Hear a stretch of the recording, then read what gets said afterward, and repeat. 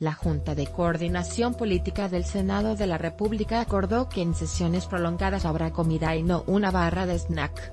Habrá alimentos cuando requieran. Es un acuerdo de la Junta de Coordinación Política que se hará saber a la mesa directiva, señaló Ricardo Monreal. Destacó que los senadores también tienen derecho a que en el proceso de la sesión, si se alarga, puedan tener un alimento para poder seguir, porque si no también va a pasar lo que vieron en la última, en la cual se salieron algunos legisladores. Les hablo con mucha seriedad, el senador Manuel Añorbe salió en una foto cuando estaba comiendo jícama en un vaso de cartón y su servidor también sale en una imagen porque el senador que estaba atrás nos dio un vasito con mango.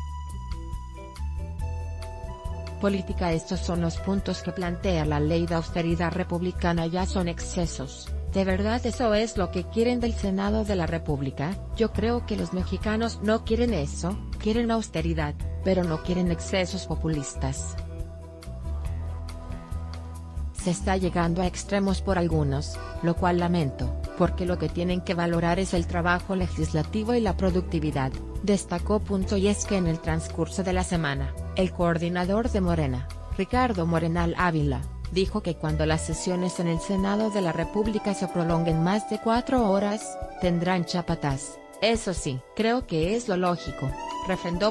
Si se prolonga la sesión va a haber servicio de chapatas y de fruta para que no tengan ningún problema los senadores, pero no hay nada de lo del pasado, no hay tampoco excesos, ni comida ni nada, no hay servicios de decanés, refrendó el senador y presidente de la Junta de Coordinación Política.